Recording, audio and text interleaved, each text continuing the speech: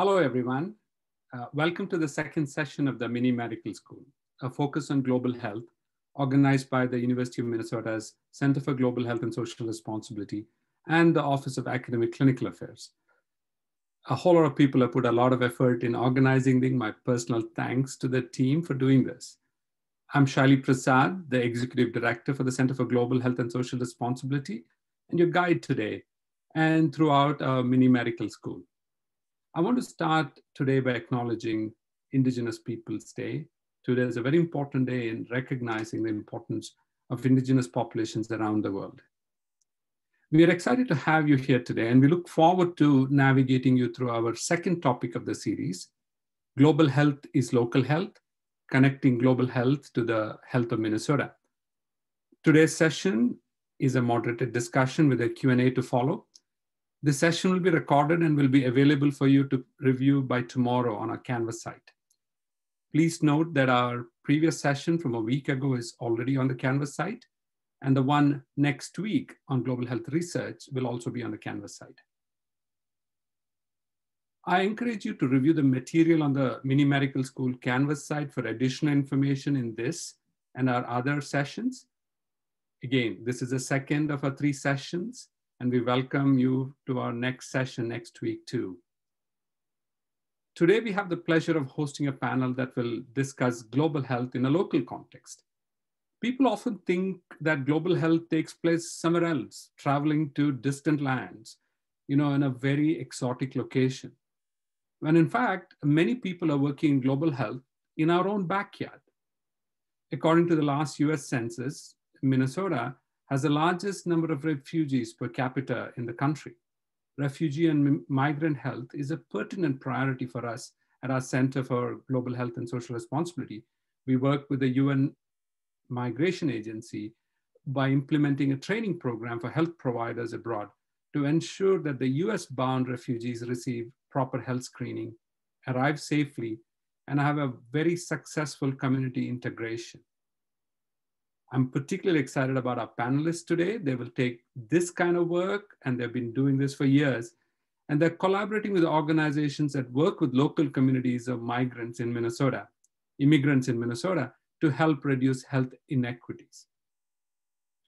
Let's keep in mind that the primary tenet in global health is about achieving health and equity to all. It is in this context that we should keep in mind the underserved communities around us too. Another important issue that comes up is about global health paradigms. The challenges of underserved care in the US too, and how this closely parallels some of the conversations in global health and in the global local arena. The University of Minnesota is uniquely positioned to make a difference in this arena. We are one of the few universities that have six health sciences schools, medicine, public health, dentistry, pharmacy, nursing, and veterinary medicine. Other university programs beyond the traditional health sciences also empower our global health work very strongly. And these include, and not exclusively these, biological and social sciences, agriculture, public policy, engineering, and communications. We also have partners all around the state of Minnesota, all around this country and the world. So a quick poll. How many of Minnesota's health professionals are trained at the University of Minnesota? And I'm going to give you a few seconds to answer that poll.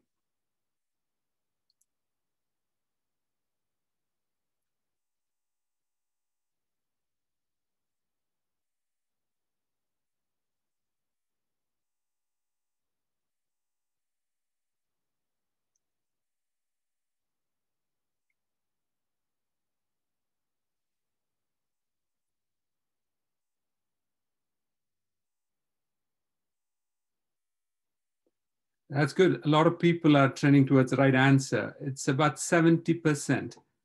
70% of Minnesota's health professionals are trained at the University of Minnesota. This is why our center works to provide global health experience and education for researchers and students at the University of Minnesota to provide them with a global perspective on health as they move into working in Minnesota's communities and communities around the world. Last week, we emphasized the importance of us all living in an interconnected world. Our Global Medical Education Research Program, or GMER within the med school, provides opportunity for our medical students to gain an immersive experience in a research or clinical setting in different countries of the world. For the past many years, more than 440 medical students have participated in this program. We have long-term programs, including one at the Mfangano Community Health Field Station on Lake Victoria in Kenya, or the Research Training Collaborative in Uganda. And some of our local programs include Global Health Case Competition, a unique opportunity for students from different schools and disciplines to come together to form innovative solutions for 21st century global health issues. You can learn more about our programs at globalhealth.umn.edu. And again, if you have questions for the panelists or me, please type it in the Q&A box and I will post it to a panelist. And now it's my pleasure to introduce you to our panelists. I'm going to start with Dr. Mike Westerhaus. Dr. Westerhaus is an assistant professor in the global medicine program here at the University of Minnesota, where he teaches social medicine and utilizes experiential and action-based methods to elevate the critical consciousness of health professionals. This is a very important skills for health professionals to develop early in their training. Dr. Westerhaus is also a primary care clinician at the Center for International Health, where he seeks to bear witness to the lived experience of refugees in order to support their efforts to overcome barriers to health. He also leads several programs with the aim of understanding and responding to structural forces in society that create poor health and health inequities. We at our center are lucky to have him because he leads our global health in a local context course, an experiential course that places considerable importance on building partnerships and encourages students to reflect upon their personal experiences with power, privilege, race, class, and gender as central to effective partnership building in the health professions. This course is not only available to graduate and professional students at the university, we also welcome learners from the Twin Cities community to apply to take this course as well. Dr. Westerhaus, uh, can you tell us a little bit about yourself and your work in global health, particularly in a local context? Yeah, great. Thanks for the introduction, Shaili, and really nice to be here tonight with you all and with our other panelists, um, whom I'm excited to learn from. Um, I, in terms of my little bit of my own story, I'm from Minnesota. I grew up in rural Minnesota um, outside of St. Cloud. Um, came from a family of educators. My mom, first grade school teacher. My dad is a public school administrator for many years. I'm a dad, four daughters. I'm wrestling with virtual home learning in our public schools these days. Um, and uh, married to a sociologist, which uh, influences certainly my um, view that the social sciences are so important in the work that we do. Um, I trained in global health equity in Boston and in primary care and moved back here to Minnesota about 10 years ago now and practiced primary care at a clinic called the Center for International Health, which is a one of the largest refugee resettlement um, screening clinics in the state of Minnesota. So we partner very closely with the Minnesota Department of Health. Um, but largely the bulk of what we do is long-term primary care. Um, the clinic's been open for nearly 40 years. Um, and I love that part of my work. I love clinical work in the ways that it keeps me grounded, um, the ways it keeps me really in touch with people's stories and helps me reflect on my own story as well. Um, and then the other part of what I do is um, teaching social medicine, which is really getting folks thinking about these larger social forces and the ways in which um, those impact health. And that was something that I found to be very deficient in my own medical training. And so, in the midst of my global health equity residency. I was in, in Uganda at the time and sort of co-designed with some Ugandan colleagues a course that's now been running for 10 years, which really centers story, it centers thinking about social justice, and it really works to draw on the wisdom of the social sciences as well in terms of informing understandings of health. So, and then as you mentioned, about five years ago, we we implement we took that version of that course and run one here in the Twin Cities, which has been um, which has been really moving to be part of, uh, and uh, just learning so much about the history here and how that pertains to health. Thank you, Dr. Westerhaus. I, I really appreciate your emphasis on the social aspects of it and how you are trying to integrate it into pretty much every work that you do. Uh, and then talking about uh, social aspects, I would like to bring our next panelist who has integrated a lot of this and the wealth of experience, particularly in working in communities, uh, Dr. Dwivedi. Dr. Roli Dwivedi is an assistant professor of family medicine at the University of Minnesota uh, Department of Family Medicine and Community Health, and also the chief clinical officer at the Community University Healthcare Center, or the Cook Clinic in the, at the University of Minnesota approximately 81% of the 11,000 patients at the care center are uh, identified as a person of color, an immigrant, a refugee, or a Native American. Significant portions of their clientele live below the federal poverty level and are either uninsured or significantly underinsured. Majority of these folks cope with more than one chronic illness and nearly half receive some kind of mental health service. Dr. Dwivedi is an educator who likes to create new models of teaching and culturally competent care delivery models. And she's at the forefront of implementing these too. Her interest in education includes global health and culturally sensitive care. She's developed a wonderful course for residents to understand global health in a local context. And she works towards improving health disparities in addition to mentoring medical students and residents. Dr. Dwivedi, I'm going to ask you to talk a little bit about yourself and your work in global health in a local context. Thank you, Dr. Prasad. Um, first, I would like to take a moment to repeat the thing that you said that we are sitting, standing on Dakota land. So we have to just uh, take a moment um, to be blessed and to be thankful to be here. There's a lot of work on health inequities that need to be done. And we as a collective force has to continue doing that work to improve the health of all of our communities, especially our indigenous communities. Speaking of myself, um, I'm Roli Dwivedi, um, originally from India. Um, from the north part of the India. There was no plan in my picture to come to Minnesota, but it happened 20 years ago. I landed here. Um, and then I got trained um, in uh, family medicine here at the university at the Smiley's Clinic. Um, and then I um, started working at the Cook Clinic. Um, I started as a physician, then became a medical director, and then a chief clinical officer. Um, even before coming to Minnesota, serving the underserved population was my passion. Um, I worked as a medical director in, um, in a rural setting in India, which is a charitable hospital serving the underserved population. Um, and currently at Cook, which is a federally qualified healthcare center um, located in Minneapolis. Um, and um, as Dr. said, Dr. Prasad said that I, when I came here, I was very curious because I started learning about this new terminology, global health, and all the students are going to the different countries to learn the global health. And, and then I was looking at Cook Clinic, uh, working there, and I, this thought just came to me like pretty much every single day. Global health is here, right here in Minnesota.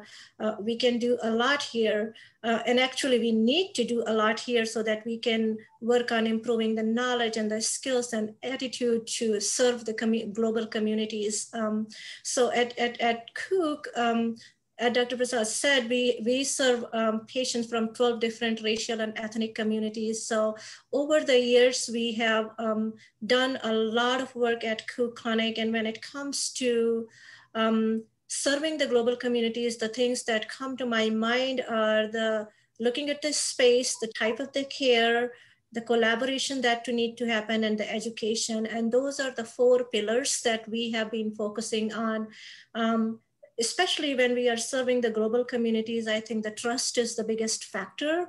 And once the trust is developed, then we can provide the patient-centered care. So, and trust building starts with the spa space um, how you build the space, and then the trust builds the care and the collaboration and the education. Um, eh, so, so, we have done a tons of work in, in looking at um, making sure that we are the, at every single level at the, at the clinic, in, starting from the front desk to the support staff, to the providers, to the collaborators, we are representing the communities that we are serving.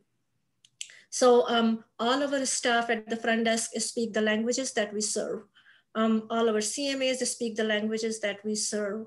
Uh, more than 50% of our staff is bilingual. More than 50% of our medical providers who um, they are um, uh, bilingual.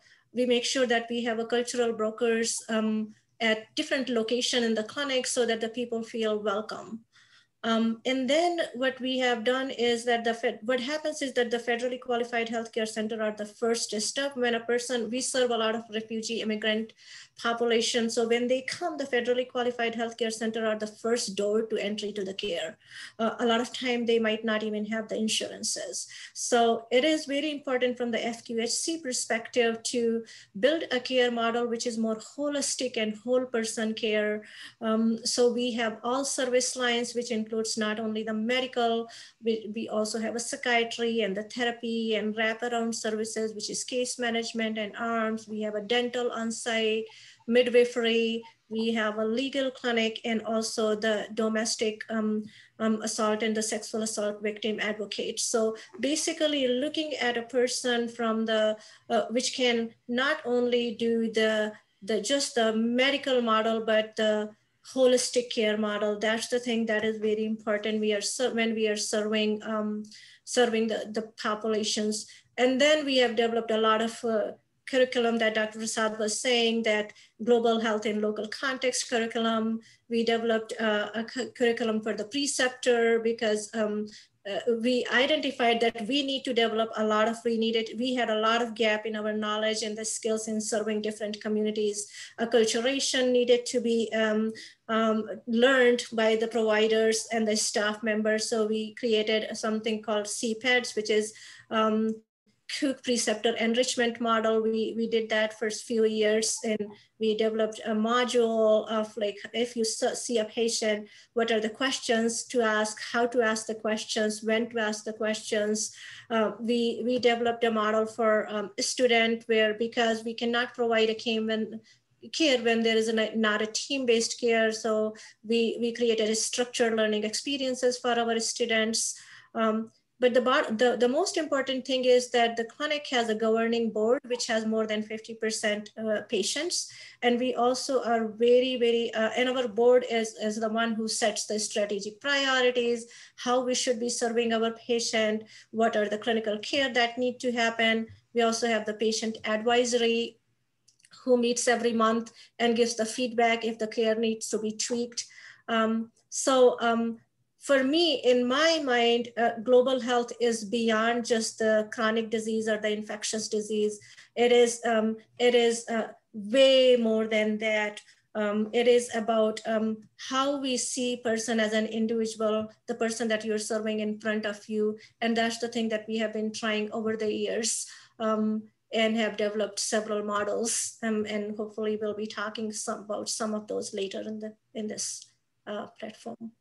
Thank you, Dr. Dwivedi. I appreciate that. I appreciate your emphasis on how all those um, structures are interrelated and can move beyond the global to the local context. Uh, now, a third uh, panelist, uh, Dr. Maria Veronica Svetaz. Um, she's a cisgender immigrant Latinx family physician at the Hennepin Healthcare Department of Family Medicine and Community Medicine and a faculty of the leadership education in adolescent health in the Department of General Peds at the University of Minnesota. Uh, Dr. Svetaz is originally from Argentina, but she designed and directs what's called Aquí Para Ti, Here for You, a youth development program with some fabulous wraparound service. And she's been doing this since 2002. This was originally funded by the Eliminating Health Disparities Initiatives grant from the Minnesota Department of Health. She's also developed a system-wide program called Hene Team, now named Between Us, to create comprehensive spaces for teens, teens and their parents, and both teens, parents, and providers. Her research focused on creating inclusive programs, caring for immigrants and refugees, racism and its effect on health, parenting youth of color, and health equity for teens, their families, and their communities. I've seen her work shine both in the Society of Adolescent Health, in family medicine, and in world organizations. Dr. Svetaz, can you please tell us a little more about yourself and your work in global health in a local context?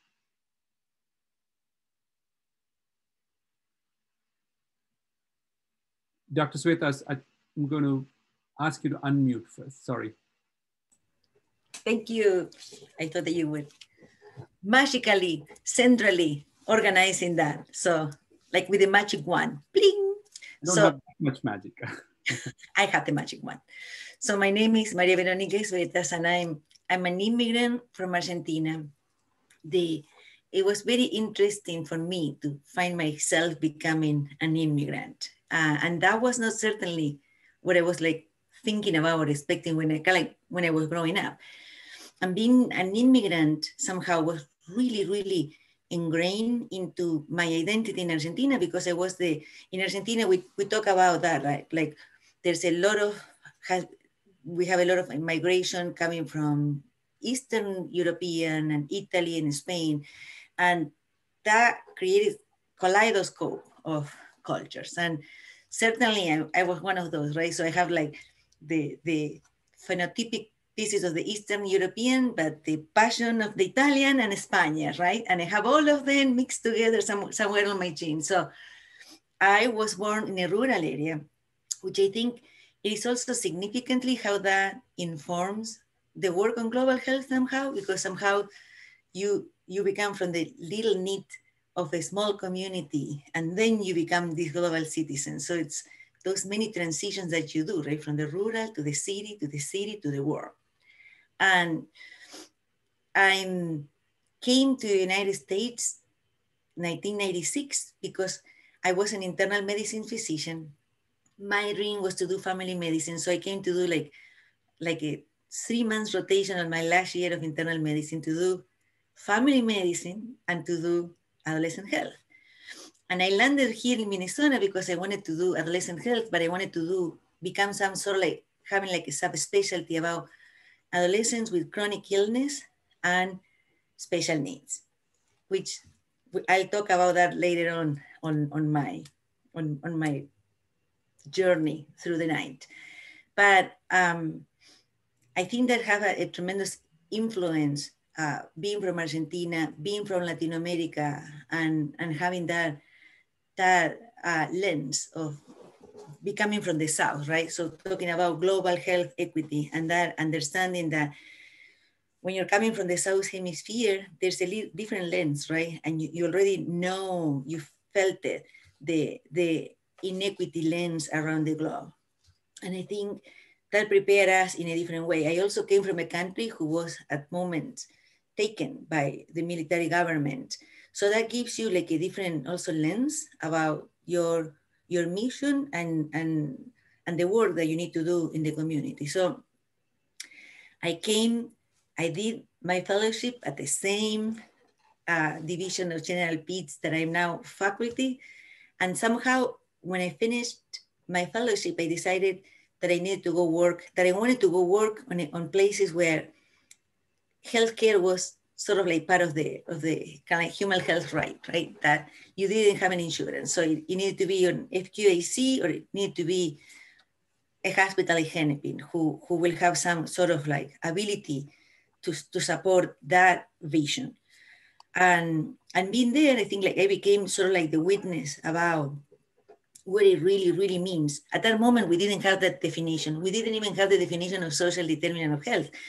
But I, we all got that understanding about we're the witness of where people live, learn, grow, and educate themselves and fight through all kind of adversity to become the best person that they can. And that witnessing, I think, informed how I wanted to create and, and what, what, what I wanted to do. So health equity became suddenly like a, like a real thing. And so one of the things that, that I've done, it's creating a, a creating a program that really reflected sort of like the health equity mission, that you do something for your own community, within the community, and, and using the community values. And I love the definition when Roli was saying like spaces is everything, right? So we talk about in, in that creation of inclusive spaces, we call, we call it welcoming empathy. So we wanted to create that program, that space where like a family will come and see reflected on the components on, of the program, those values and preferences that they have and they resonate with their culture and they resonate with their concept of healthcare. And we did it in a way, sort of like proofing the program, kind of like knowing what were the main challenges, like our youth and our family will have with, with the idea of not a preventive diseases, right? Like Roli was saying, with the idea is like how can we propel this individual to be the best, the best self that that person can be? How can we unleash their potential to become, to, to achieve those dreams that they want to conquer? Because we know like in the end that when you do that, that's what creates helps. When you follow your dream and you work in the career that it's your passion, when you were able to educate yourself and conquer that job that you wanted to be, that's what make you healthy. So, um, and that was the whole intention. And, and I think I was prepared. I'm going to mention something quickly about when I was at the University of Minnesota getting my master in public health. I remember uh, Michael Resnick in a, in a class, he presented a work, an article. You, I'm sure like, uh, Shaili, you know the article. So it's an article that the ED, the Bronx uh, ED department, creating about measuring sort of like index of health in the community five miles from the ED and contrasting those measurements with Bangladesh, with at those moment, I think 1987, 1988, had the highest index of poverty and showing that it was the same or worse. And in the end, they were saying like, why would you go to pursue health equity kind of like around the globe when you can do the same, not so fancy, right? But around the block and exactly the same, the same context that you were describing, Shaili. Thank you, Dr. Svetaz. I really appreciate that. I think the premise that in global health, we need to be looking at health equity as a primary lens, I think is a huge part. And I really appreciate all three of you bringing that point up. Uh, Dr. Westerhaus, you mentioned you know your experience when you developed the course in Uganda. Was it a single aha moment, or was it a series of events that slowly evolved in you, particularly in applying your frameworks, you know, the global health frameworks, while working in communities here in Minnesota? Yeah, great question. I well, I think there was uh, there was definitely an aha moment for thinking about what these kinds of global health principles mean here in the Twin Cities. So I had spent the course in Uganda started in 2010 and um, we spent four or five years really working on what is like core content that we think health professionals should be learning that's not included in our training on social determinants, structural determinants. Um, and then we were spending a lot of time learning like how do you teach this? Like what kind of pedagogy do you use to really engage people? And got to the point where after about five years of feeling like really proud of excited feeling like we had something we were that was just like super. And the aha moment for me was when i was here in the twin cities sharing about our course um, kind of narrating here's what we include. Here's the pedagogy. Here's what's happening to students who have taken it the course. Someone in the audience i remember very well stopped and asked, um, not in too threatening of a way, but in a critical way, this course sounds great. Why are you not teaching it in your own community? And for me, that um, that really started uh, for the whole team of us, like kind of a reckoning with like really thinking about who am I, where am I from, um, what are the ways in which these things that we're we've been talking about and looking at in northern Uganda things like the impact of neoliberal policy on minimizing access to public health services, thinking about a history of colonialism in British colonialism in northern Uganda. Like, why have we not been thinking critically about those things here in the Twin Cities? And that kind of that was a major aha moment that kind of launched a, a few years of working with the center, working with many different folks in the community to really co-design this course that we started now four years ago. Um, and I think for me, the aha was like I had really in global health built an, an identity on going away. Mm-hmm. Me being someone who's from Minnesota, like go, global health is always going away somewhere. Um, and I think when we're doing that, when we're always going away to other places, it can be really easy to kind of exclude yourself. From the purview of analysis like how how are all these same kinds of things playing out in a community that i might that i'm from where there might be greater accountability for your actions um, probably greater opportunities? Roli mentioned the importance of trust to like build long-term relationships with people mm-hmm. um, and to and to be able to make yourself self-vulnerable in those spaces. Thank you. I mean that was quite profound. I think we all have gotten stories like that when we compare you know for me it was looking at teen pregnancy rates in forest tribes in india to teen pregnancy rates in urban populations here in the us and they're pretty similar it's quite telling when you're like, whoa, there's a lot of similarity. Dr. Dwivedi, I'm going to bring you in here, and you talked a little bit about your uh, background, particularly coming from Northern India. How much has that framed your thoughts in this? And was there a single aha moment, or was it a series of events that built you up to where you are right now? Um, I, I, I had several aha moments, and um, even though I teach global uh, health and I practice global health, but still every single day I have aha moments. Um, and uh, it's like every day I'm just like, oh my gosh, uh, why didn't I think about it? Uh, but the, the clearly I can think about, I think it was around 2011 or 2012. Um, I was taking care of a, of a lady who was originally from Somalia and um, she had a, she had a very poorly controlled diabetes. And um, she, during that visit, she just uh, told me that she was planning to fast for 30 days for Ramadan. Uh, and then she also was telling me about the recurrent episode of like blood, low blood sugars and and that moment it just hit me so hard. It just made me realize oh my gosh what i have been just doing so far in my life. There was such a gap in the knowledge and the skills i had in in serving the global communities. Um, I, had the knowledge how to treat the diabetes um, uh, but i needed to modify that knowledge and and needed to provide the patient-centered care which was uh, meeting the need of the global communities the other things that I have learned over the years is um, how, how the mental illness presents um, and interpreted in different communities, in different global communities, and how do I engage the different global communities. Um, another thing that I can think about the addiction issues in different communities. Um, so, I mean, I can, I have a very long list of things uh, and every time I am, and I keep adding to the list and I see, oh my gosh, I read the textbook, I have so much knowledge, but I didn't develop that skill. How do I modify that knowledge according to the person who's sitting in front of me? And uh, I grew up, I, I was in North India. A lot of people do Ramadan in North India, do the fasting, but I was, I, the healthcare providers and the healthcare systems are so narrow focused and narrow laned that we never broaden our horizon or never broaden our mind to be more inclusive of the global communities or the global needs.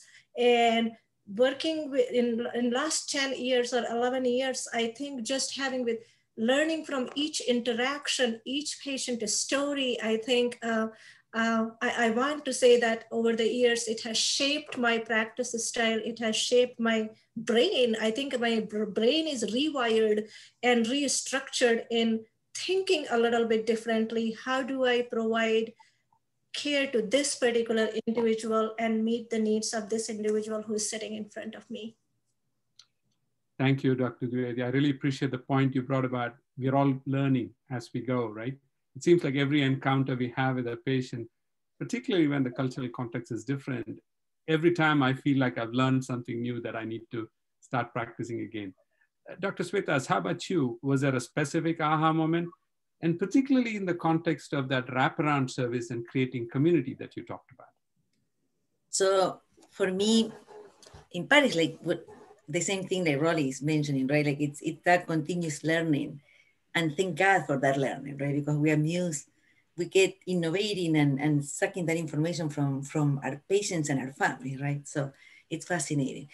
But one of the, I don't know if it was an, an aha moment, but it was like a learning, but I remember at the same time, like that vivid experience of feeling like, like an epiphany, like an aha moment, right? Like thinking, at a moment when when we were designing by the time i think it was 2001 i have like six years of being a faculty but i have like three years of working with the community. So i was doing my residency at region hospital and my my main clinic was the west side community health services in west st paul with the longest latino enclave in minnesota. So how how amazing is that? To be training on the place that you probably would have been working if you were not training. So so it was such a fascinating speed of learning and also full, feeling fulfilled, feeling like I, I was bringing my work to someone who really kind of like value that, value that. And when again you are on the trenches and you are witnessing what people have to go through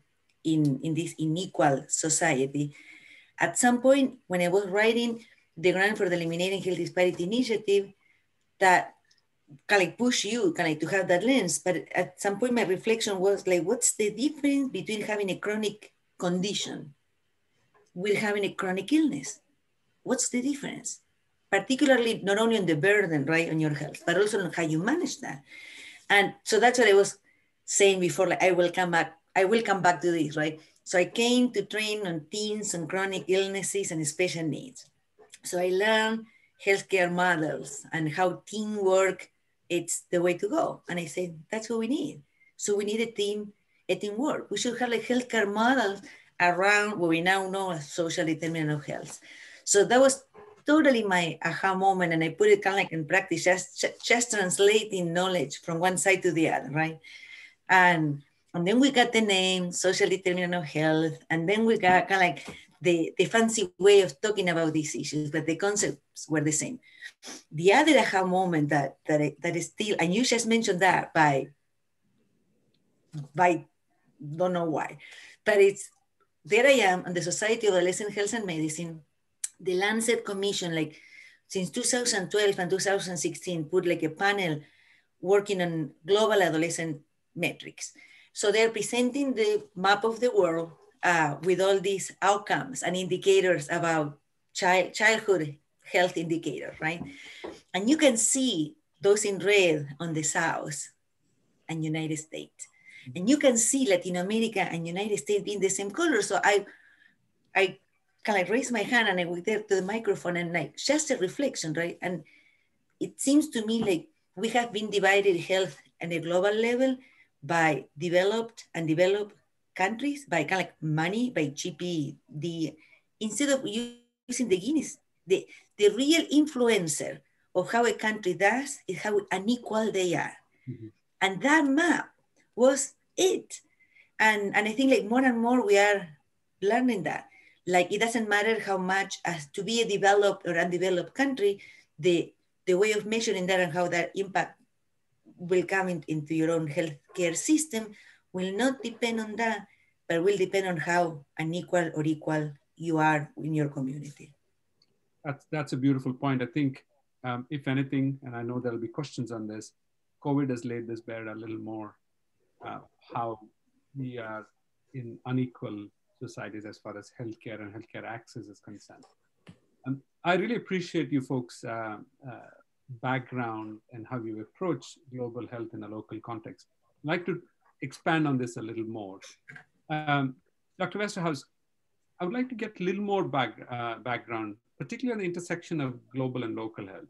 You mentioned your course in Uganda, and I know you have a course uh, that you have worked in Haiti on too, and, and the course here. In all of this, how has the intersection of global and local health manifested itself? Yeah, um, great question. And one I think a lot about. I, I, I feel like when we utilize the terms even global and local, I've started to find myself recognizing how important it is to pause and just think about like what does that mean to you like what maps into your mind when you talk about global health versus local health and i think for me and i think for many we still are stuck in these ways of thinking about global health as somewhere else, some other place, um, and local health somehow being nearby. And I, I, for me, one a real lesson, something I've been thinking a lot about is because those terms are kind of geographic in a in a way. like when we're thinking about global and local, it's really important for us to know and um, it, it, and think about place the places in which we are.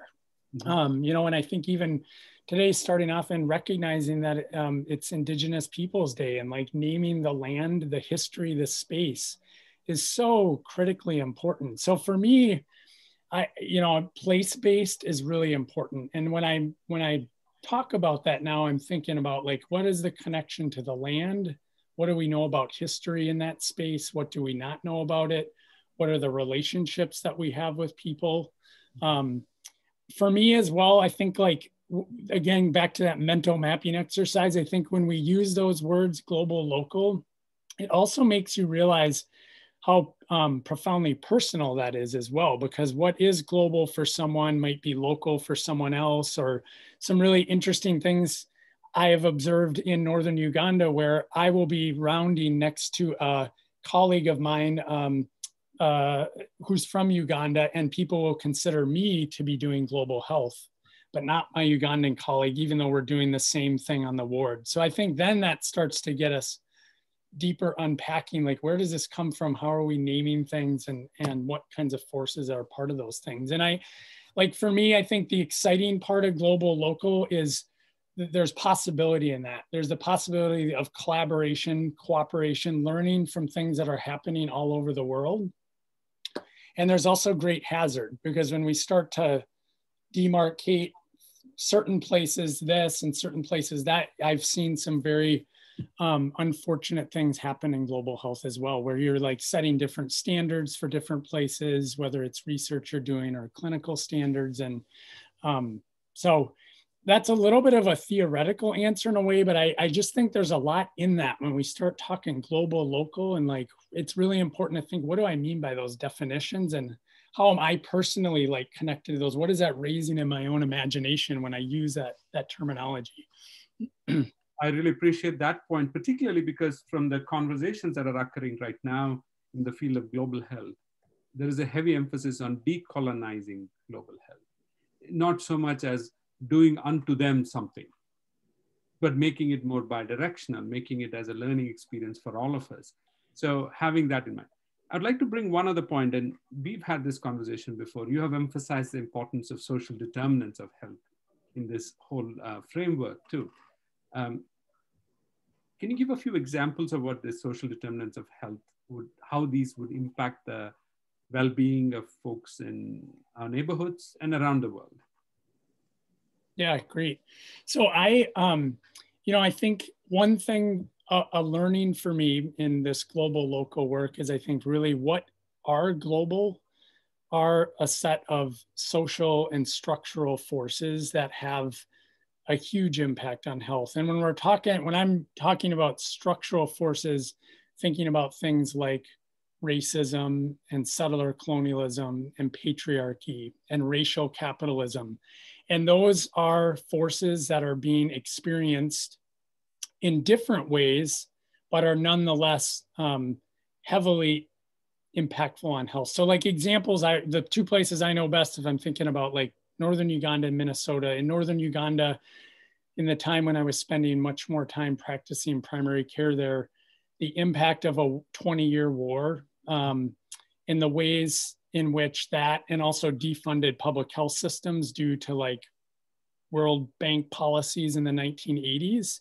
that had like real repercussions for people like in their bodies. I mean, it you can think obviously like the connection between something like being in a war setting and post-traumatic stress disorder. I mean, defunded public health systems end up leaving people without access to care or waiting to seek care until they've got very advanced disease. So that turns into very complicated malaria, diarrheal disease in northern Uganda. Here in Minnesota, um, when you think about like how do those larger social forces set the conditions for health for people, we see we have histories of redlining, mm-hmm. residential segregation that still happens today, underfunded public education systems, mm-hmm. um, job insecurity all of those things again set up social conditions that lead to uncontrolled diabetes severe COVID infection. You mentioned COVID a little earlier, which is like the elephant in the room right now because we see all of these things playing out and affecting our most vulnerable populations. um, Dr. Svetaz, would you like to add anything to what Dr. Westerhaus mentioned, particularly about the intersection of global and local health and the context of social determinants here? Dr. Svetaz, can you unmute, please?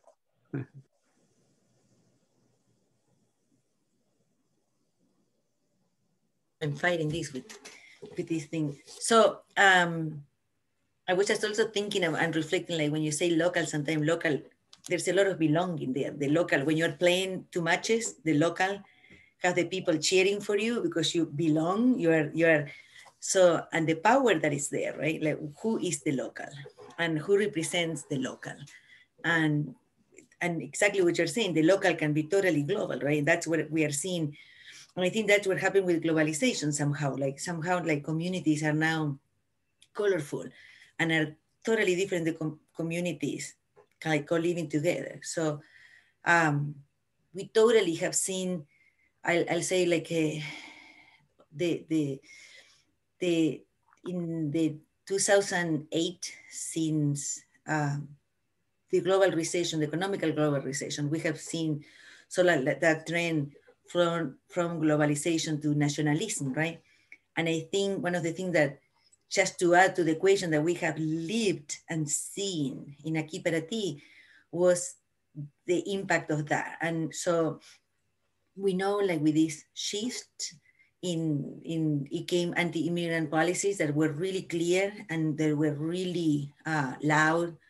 And, and I think like part of what we tried to do in the recent year was like to, to see the differences and the impact of that health in our children. So how the, the political and social economical context have impacted our teens in para And we saw, we have been measuring anxiety and depression for the last 15 years. And so the level was high and that's a disparity for Latino teens. And we are equipped kind of to contrarrest that piece or, or, at least take care of that.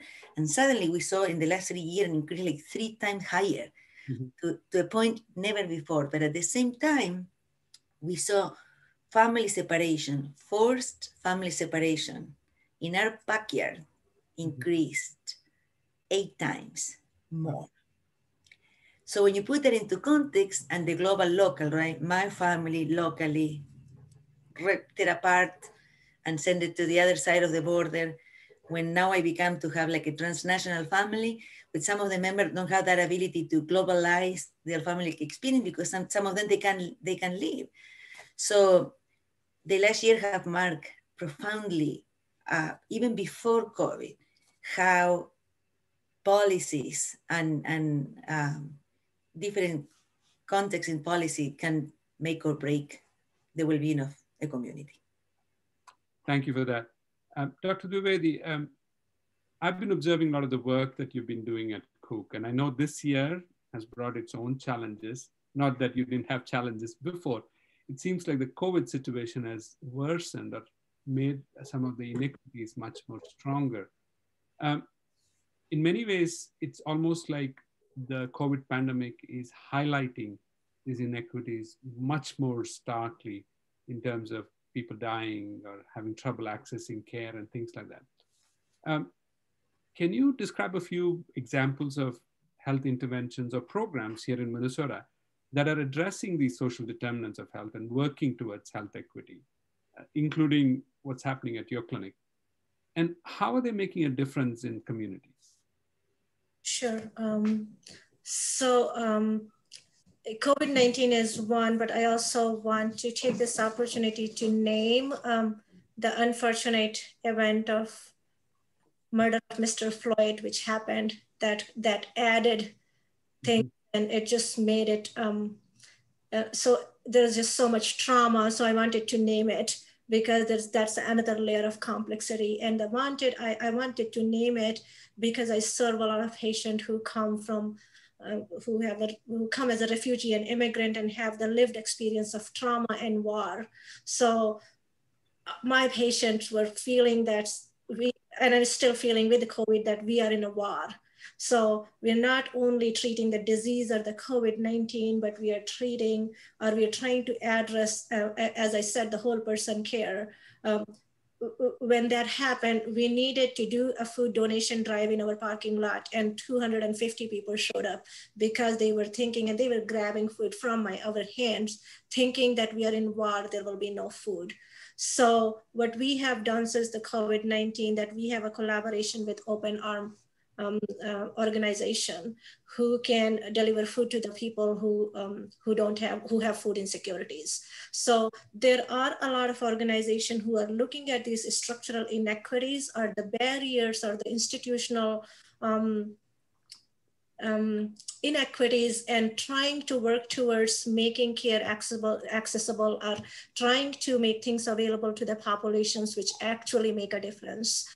Um, like we have um, we have a partnership with the legal clinic. We have a legal clinic at Cook, and that actually was the first nation, first clinic in the nation which is affiliated with the healthcare or uh, with the health clinic.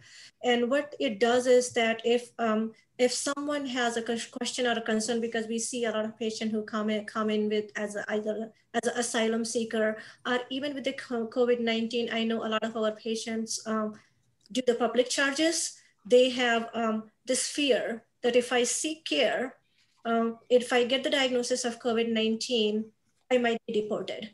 So having a legal clinic or services in place, uh, that's a reassurance for them, or it is a reassurance for the healthcare provider to bring them, no, we, we have your back you come to us, we have your back. So they, they, they provide the pro bono legal services to our patient and that's very helpful.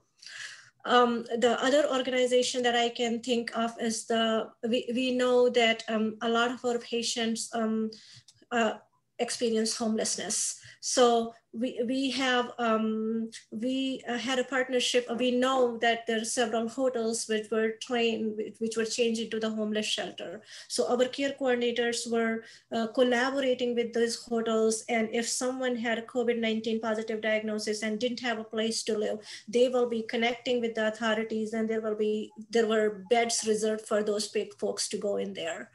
Um, there are um, there are um, telemedicine is another example. I know we have done a lot of advocacy around telemedicine. it, it is a telemedicine has a has a good point of access, but also there are inequities attached with the telemedicine. So we have been advocating for the phone visits rather than the virtual visit because a lot of our patients, um, especially um, might not have a good internet might not have an iPad, might not have a computer. So we have been working with the systems um, and advocating so that we just heard the news today that, that it is extended until January 2021. But we needed to be at, we needed to collaborate with other community clinics. There are 17 in Minnesota and advocate for this issue so that our patients have access. The other thing that I can think of is the uh, CLUES is an organization which is a Latina-led nonprofit organization. It was founded in 1981. Um, it provides culturally, culturally and linguistic relevant services to our um, Latina population, and they have a lot of services available. WellShare is another organization which is more focused, which is a 501c. It has a lot of um, um, information. They are doing tons and tons of work around COVID education in the communities. They have created videos. I know I work with the PHDR department and one of our colleagues, she works with the, with the organization and they're culturally appropriate, sensitive, based on the health literacy um, education. Um, uh, we are educating different communities um, um, Somali communities, Hmong communities, and, and Hispanic and Latino. I'm personally working with uh, like a lot of imams, um, having a meeting with them every week. Uh, there is a, religion and health, uh, faith-based organization, so they are working a lot on the COVID-19. Um, there is a lot of organization, including Cook, we are thinking about mobile care. Over the years, over the years, we have done, you come to us, we will give you the care COVID is a, is a curse, but it is also a, an opportunity for us to pause, think, reflect upon, and develop a new model of care so that we can extend our hands and we can go to our patients and provide care at their door where it is needed. So the right care is, can be provided to the right people at the right time and the changes can happen. So, I mean, I can talk all for next an hour, but there is a lot of strength in Minnesota. There's a lot of collaboration that can happen. There's a lot of opportunities that exist. We just need to reflect upon on those opportunities and sit tight and then work on those to improve the care. Thank you, Dr. Dwivedi. I, I, would like to actually emphasize one other point. The Minnesota Department of Health is considered to be the best state health department as far as immigrant populations are concerned. So I appreciate that. Dr. Westerhaus, I know of your work at the Center for International Health. Uh, similar to the question I asked Dr. Dwivedi, what are your partnerships like there? And are there local organizations that you work with, either there or elsewhere, that you found to be really useful in um, working with immigrant populations. Yeah, thank you. Um, just to follow up on, I, I, think it's, we have a strong partnership with the Minnesota Department of Health and their Refugee and International Health Office, um, particularly in the um, resettlement process of refugees who are just arriving to Minnesota. Um, and so that's been really an important relationship and then you know with the clinic uh, there are a lot in we're based in st paul and so it's really strong partnership with um, the wilder foundation and a number of the programs that they have. They run a center for social healing um, which has been really an important space. That, that space is particularly um, uh, tailored for folks who are from southeast asia and but do a lot of um, really important um, therapies um, that I think really are supporting people as they're resettling and um, um, finding their space and their way around in the community. There's Vietnamese social services. Um, there's the Karen Organization of Minnesota. So a lot of those are um, groups that um, are run by folks from those communities and are just a wealth of information, communication, and spaces for our patients to, to be able to get the many things outside of the medical care that we can provide in clinic, which are, again, when we're talking social determinants and you're thinking about all these other forces that affect health for people, it's really important to have community partners who are, who are really attentive to and very knowledgeable about how to support people in those ways. Dr. Svetaz, what about you? Have you seen um, those collaborations and partnerships that you've seen to be really successful? So one of the most important pieces of health equity is like to learn not to reinvent the wheel, right? And and to partner and to partner to provide care because you are you are serving the, the whole person and you know and you're aware like the social determinant of health are the most important pieces 40 45% of what really means health and we only give 10 15% if so when you do that switch, kind of like it all makes sense, right? So partnering with those people who are providing those services and are kind of like taking those barriers down for our patients are are crucial. For me, it, kind of funny because Roli mentioned that too. For me, one of the most amazing partnership ever it was with legal aid.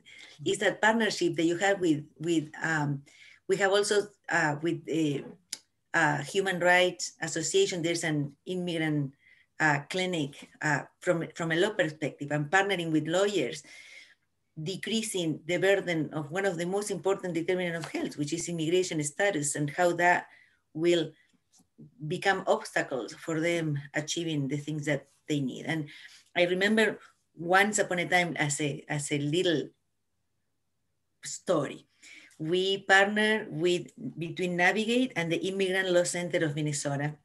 At the times, like DACA came to be, and they drafted a letter. Their lawyer drafted a letter where I, the physician, can say, "Hey, I'm the primary care provider from this team from date 2004 till now." and giving them the validity because they need to show proof like they were in Minnesota before being 16 year old. And one of the ways for them was like to bring the medical health record. Can you imagine, particularly a teenager, with all the confidential pieces that we have in the in the, the stories on those charts. And signing that letter for me, I always say, like, if there's one thing that I feel there was the most powerful intervention for me, is when I have that those letters in my hand and I was signing them and giving that to the patient. So talking about advocacy, I have goosebumps, see? Advocacy, extending your privilege, that. So those letters to me were it. Thank you. That was wonderful. I, I remember you telling me about your personal satisfaction in writing those letters too. Yeah. Um, now, here's a question for all three of you. Um, all of you are involved in education, uh, influencing the future workforce. A significant number of them who stay here in Minnesota or the upper Midwest. So, from the educational framework, the work that you're doing, how is this going to affect folks who are going to work in rural Minnesota, for example, or taking care of an elderly population here in Minnesota? And why is it important for us to have that approach of you know, the health equity approach, the global local approach, and the premise of working in the social determinants of health here in Minnesota. I'm going to start with you, Dr. Westerhaus. Yeah, um, well, I think as we talked about earlier, like the the fact that social determinants are things that have an impact regardless of location means that whether you're working here in St. Paul or Minneapolis, or you're in St. Cloud, or you're even in a smaller town, those same kinds of things are affecting um, the health of people. We know that, like, where people are living, working, going to school, um, all of those things are going to have an, an impact on people's health. So, I do think there is a really important general set of principles um, when I'm working with when I'm working with health professionals in training, which is really naming that and pointing out that um, despite the ways in which, and this is changing, but it, at least when I was in medical school, the ways in which really my training was all within the the biological, or if you couldn't explain something biologically, then it must have something to do with a behavior problem that the person had.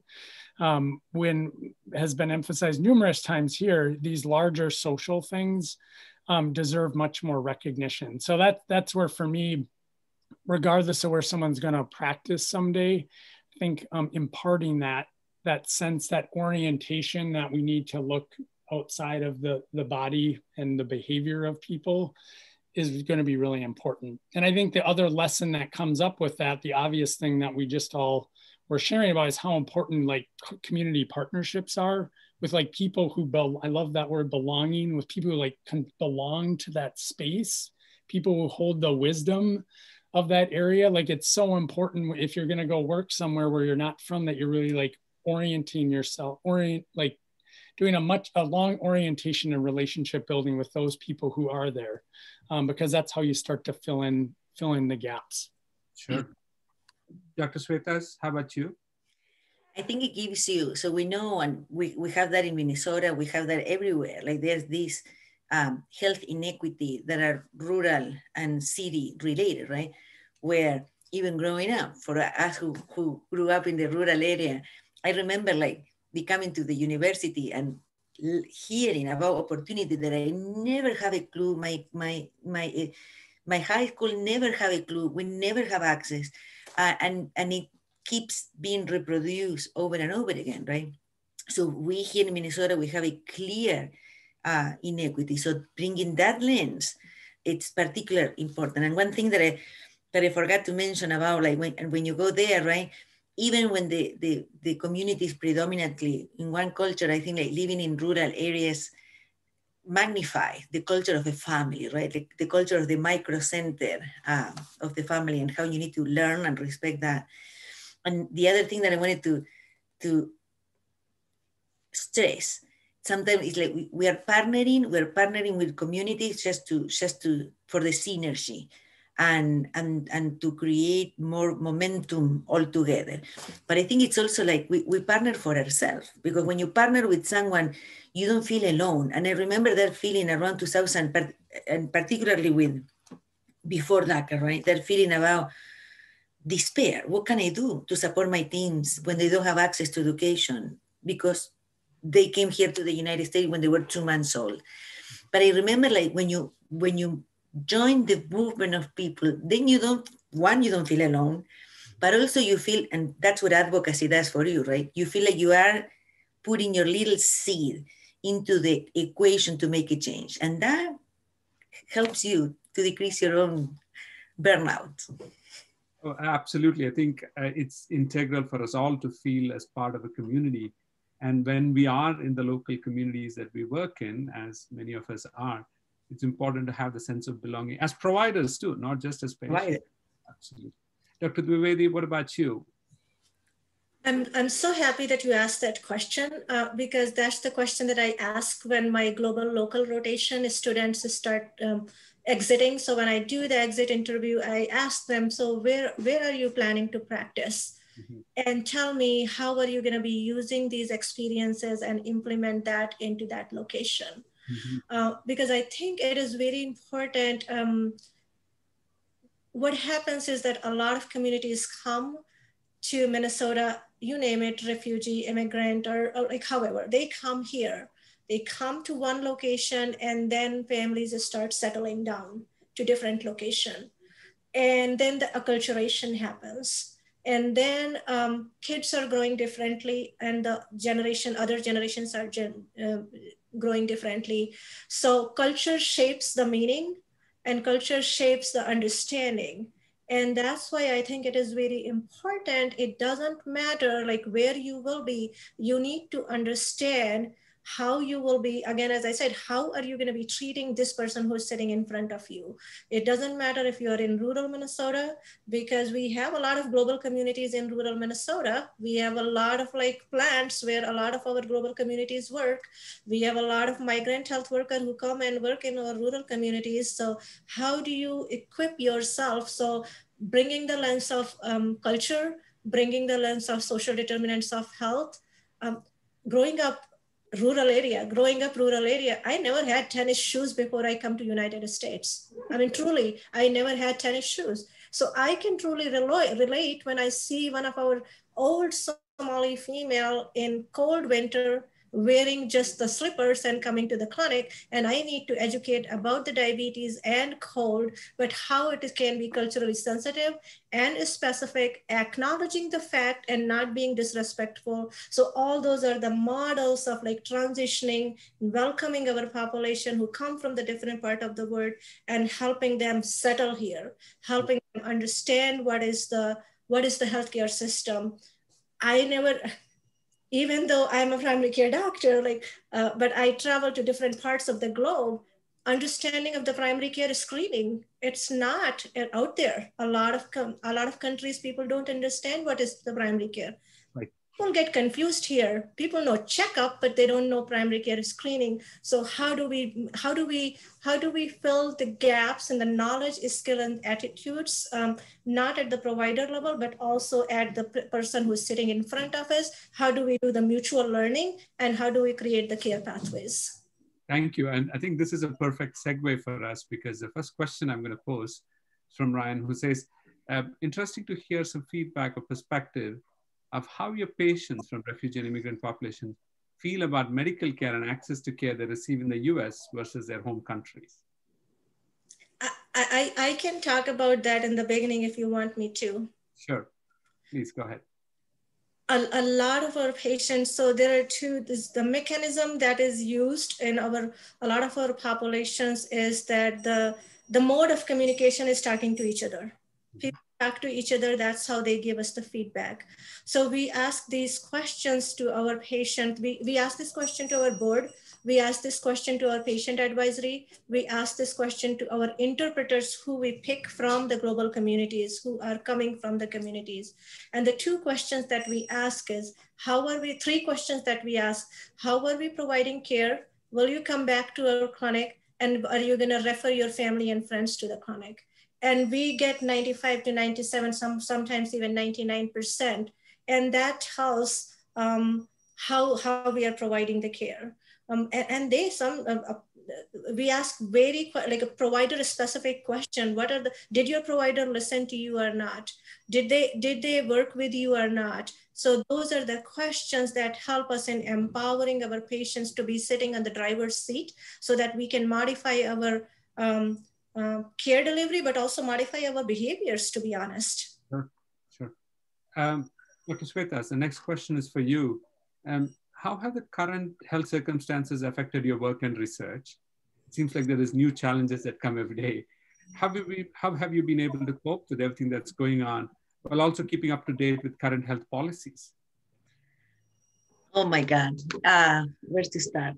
Um, part of part of this is like define current current events, right? So for me, when when I'm presenting sometimes pieces that that I'm doing, or when I'm doing presentation, for example, about racism, I start talking about the state of affair, right? And where we were on this kind of bombardment, right, of layers.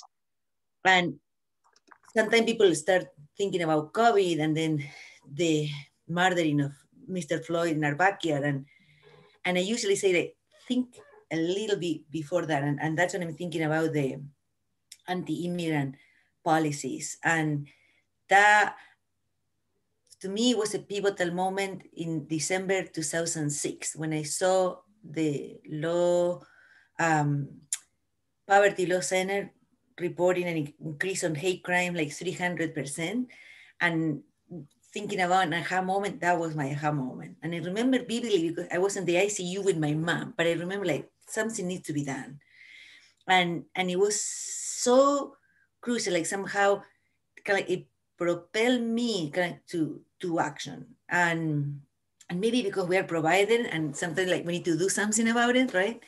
Um, so that would push me to I, I, think to channel the thing that i have learned at the community level more more more in a translational way mm-hmm. and propel that was the, the, the, the, beginning with the position paper saying like we need a position paper that connect racism and health mm-hmm. and that was it that was that moment we were working on a position paper i remember like if we were today about how to increase access for uh, immigrant patients in your own state. And I'm like, forget about it, right? It will be useless. So we need something that physician can hold it.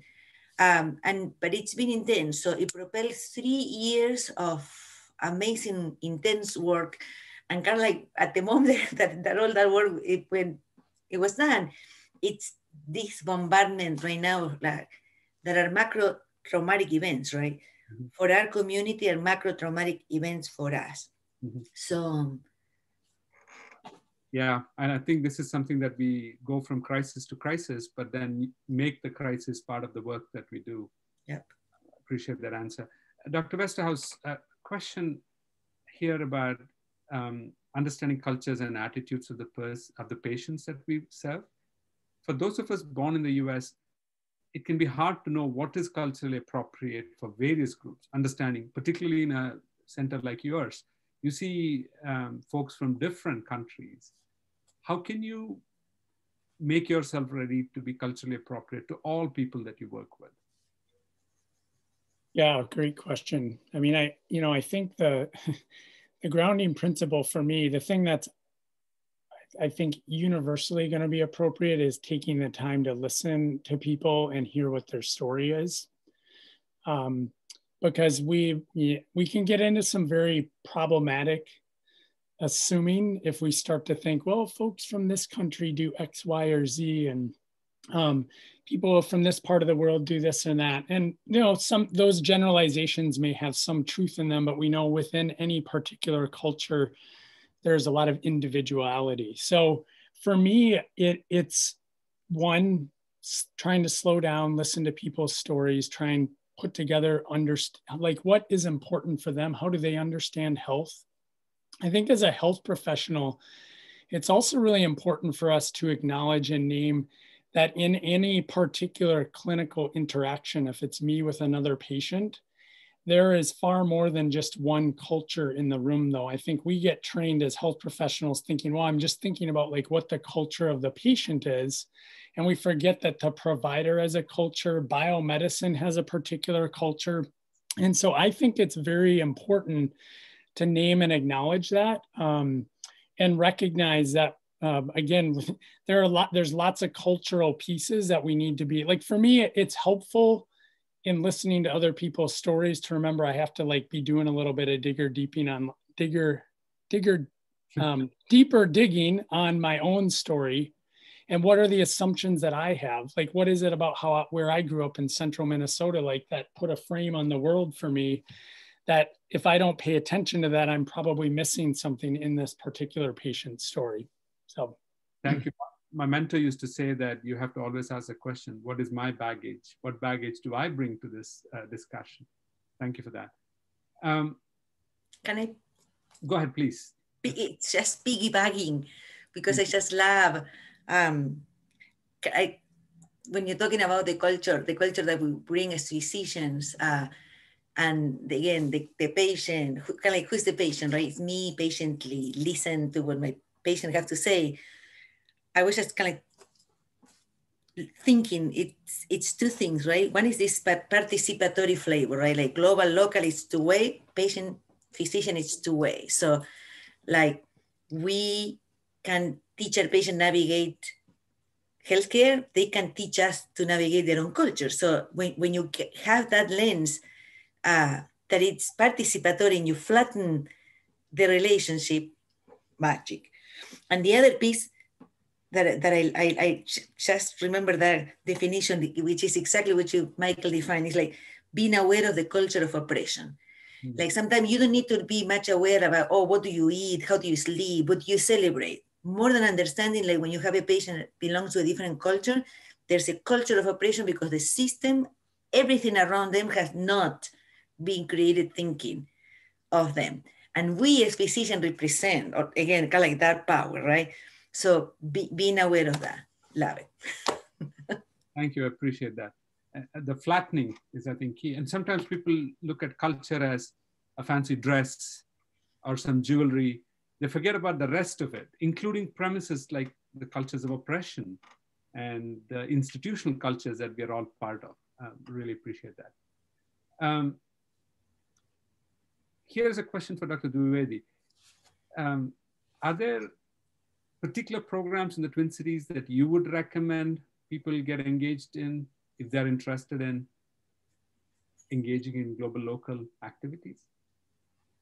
Um, it, it, so for learning, um, I think um, Mike's program, the local global course that he runs, I, I am a, I teach one of the sessions. That's a great program. Um, we have um, a local global um, program at Cook, but that's only for the residents at this time, especially things are really hard due to COVID. Um, but um, I think starting with volunteering, I think there are several, several places where people look for volunteering, and that is the first step in on, on the ladder. So just knowing, just I, I think knowing is the first step, and then you start building the network. And then you start working through that network uh, because even though we are sitting here on this panel, believe me or not, we have a lot of learning to do.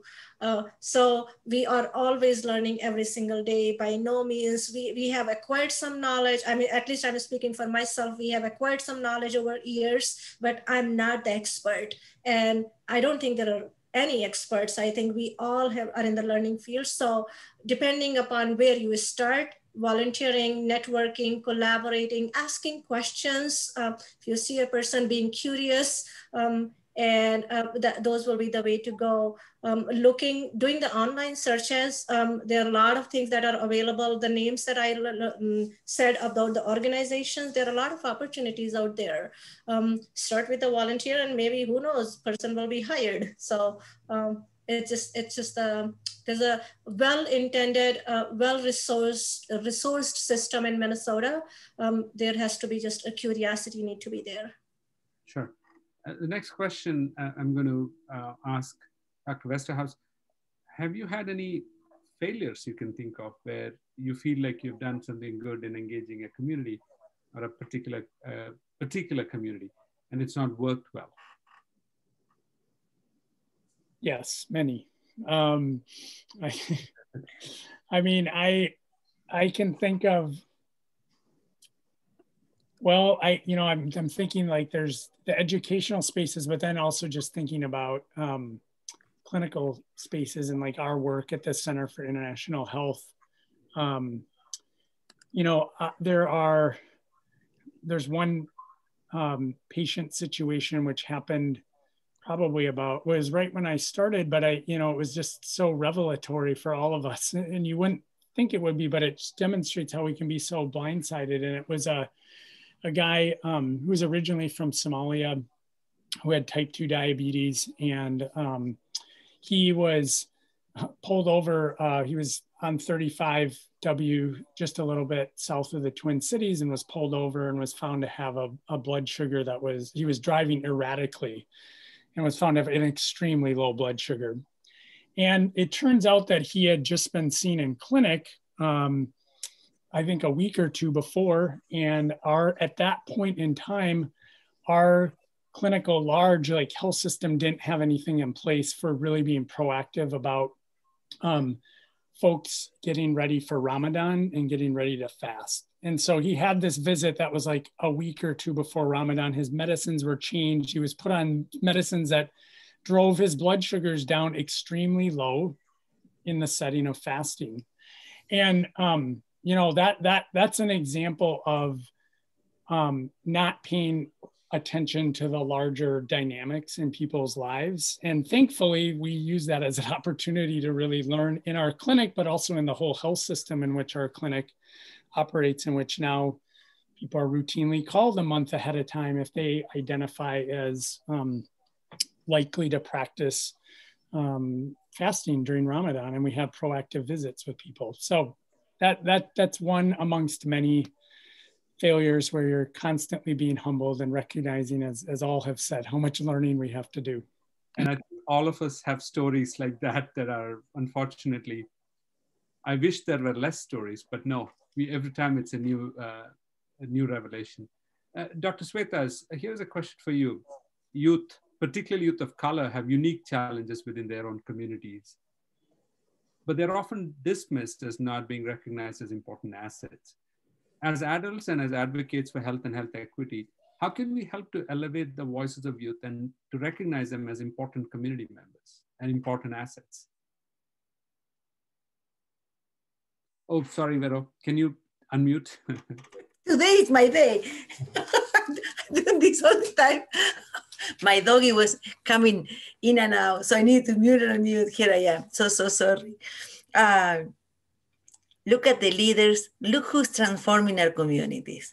Look at who's created Black Lives Matter. Look at climate change, who has been uh, leading these issues. Look at um, Standing Rock, 19 year old. Again, most of them fighting depression and sadness, both Greta and this 18 year old. The Malala, look at them. They are the one changing the society. So how can you see that? Like to me, I'm I'm biased on the other way. I see so much their strengths that that it's difficult for me. I'm looking at the other, I'm like, how come? Like, what else do you need?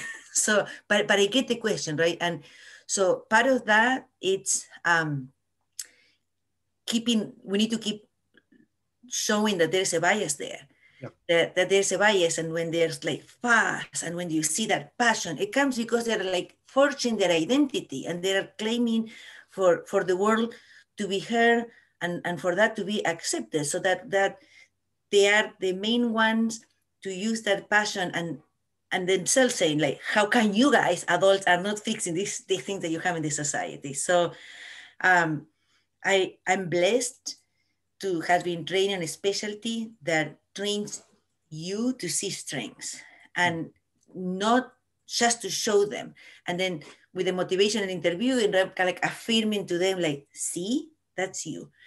And that goes so perfectly well with health equity because that's exactly the same thing like, like you are doing, right? Like recognizing that communities and youth have strengths and we are there just in this moment just to affirm them, like how, how much knowledge and, and lessons they bring to our society. So I think like as, as long as we keep repeating that, right? And, and showing the proof I think that's a beautiful lesson in itself because quite often in healthcare we, we are trained to look at deficits, not assets. And you know, in global health, we talk these days about the importance of asset-based approaches rather than, oh, those poor people have nothing kind of a conversation. So totally. I, yep. Um, here's a question. Um, this is partly a challenge that we're going to face. Um, how do you build trust uh, from a very practical way towards the COVID vaccine? I mean, there have been stories of immigrant communities that have been distrustful of vaccines and things like that. Um, what are the steps we should be doing? And this is probably true beyond immigrant communities because you're hearing stories of vaccine hesitancy amongst native born US communities too. Do you, do you want me to answer that question? Please, uh, I, I think the key is um, making sure that the right people are um, at the table um, when the decisions are being moved forward. Um, so the right, the right questions are being asked. asked. So the, when the trials are happening, uh, making sure that the communities and different communities are involved and engaged in asking the question in looking at the informed consent looking at what is in the vaccine, looking at what is the travel is like, what, like what kind of trial is happening, how big the trial is happening, how long the travel trial is gonna happen, what are the things that will, they will be monitoring. For those period of the times, how the communities will be engaged in processing the information and educating the communities. Um, and I can speak of that because I am asking those questions. Um, um, I know Minnesota Department of Health is doing a lot of work. Um, I'm engaged with them. Um, I know there are two big, there's a big trials going on. So we are asking all these questions and, and, and the lens that I'm bringing is that making sure that we are representing um, uh, when I'm saying the communities, I'm not saying picking a doc and putting it at the table person yeah. who is gonna who is in the community living and has a question and does not get the opportunity to ask the question should be at the table. So I think that will be one thing. And then the second will be um, uh, if we are talking about um, different, um, uh, like a global communities, um, I'm working with different like uh, religious leaders um, to ask questions. How do we frame the question? Making sure that it is um, the information is written at, a, at a reading level where it is understandable because in medical society we use a lot of jargon and like a technical languages and the wording which is not understandable. So i think all those questions um, it, it is going to be hard. Um, it's not impossible. It's going to be a long journey but i think these steps or measures if at, are at the places there's a hope that it will be successful and in many ways, we are hoping to capture some of those lessons learned. We are uh, creating a new center within our center, which is going to be a resource center for refugees, immigrants, and migrant populations, and, and maybe broadcast best practices to all health departments in the country. Um, unfortunately, we won't be able to take any more questions live because of the time. Uh, please, I, I, will respond to these questions by email, the ones who have already asked the questions. But I'll bring, like to bring the panelists back in um, and reflect on today's conversation. Um, what are important ideas or concepts that you have gained or learned or emphasized in today's conversation? Dr. Westerhaus, I'm going to start with you there. Yeah, I'm gonna and I'm gonna answer, but I've just been taking notes from all the really insightful things that have been been said, and a, a couple of words stand out for me that I have circled on my paper. One is the word belonging, um, and just really thinking about that. Finding ways not to reinvent the wheel. Um, I think as as a physicians are not the, the humblest of folks all the time, and just recognizing that there's a lot of people doing really good and important work that needs to be lifted up. Um, and then the other word is just yeah, culture and how important that is, and in the ways that culture can be oppressive and the and making sure we're taking time to just celebrate the ways that culture brings wellness, resilience, wisdom, um, and how much we can learn from that. As assets. Thank you for that. Um, Dr. Svetaz? I've been, see, I'm unmuted now. So I've been thinking a lot about participatory and how the in, in most of the pieces that we have been talking, it's always like this idea, even, even on the question about how we bring the youth, right? If, if we're working with youth, they need to lead what we're doing, not us. If anything has to be kind of like with the community at the same level, And when you're using these participatory processes, even in research, in education, in patient care, that's sort of like the answer. That's that's the pedagogy of the oppressor. And when you and when you look at kind of like Paulo Freire we have done for education, is that liberating truth that helps no matter where we are positioned to to help activate someone. Not activate, show them like they they have the power to do anything that they can do. Um, so that's my, my reflection for the night. I'm energized. Thank you for that. Dr. Dwivedi, how about you? Um, when I was listening, um, the things that I can think of that the community is the expert. Mm. Um, um, making sure that we have reflective practices in place and um, lifelong mutual learning. Thank you. That's beautiful. Um, thank you, folks, for uh, participating, my panelists. This has been fantastic. There is a word I'd like to use. This is from Sanskrit. It's called satsang, which means the company of the great or the company of the good. And I felt like I've created satsang today. Uh, next week, we have a mini medical school panel on global health research, the importance of global collaboration to battle global threats. I would strongly encourage um, today's listeners to look at our Canvas course for more resources. Dr. Westerhaus has curated some. Dr. Dwivedi and Dr. Svetaz have also contributed some resources. Please access the Canvas course for more information. And I would be remiss if I didn't mention, we talked a lot about social determinants of health. We also strongly believe that these social determinants of health are significantly dependent on the politics. So this year, our annual Qui Peterson Lecture on October 26th is going to be on the political determinants of health. And our speakers are Professor Ilona Kickbusch from the University of Geneva, Professor Daniel Dawes, who wrote the book on the political determinants of health from Morehouse College. And Dr. Laura Bloomberg will join me in moderating a session, a question and answer with Dr. Dawes. Thank you again. Really appreciate you joining us. Looking forward to you joining us next week. Bye now. Thank you.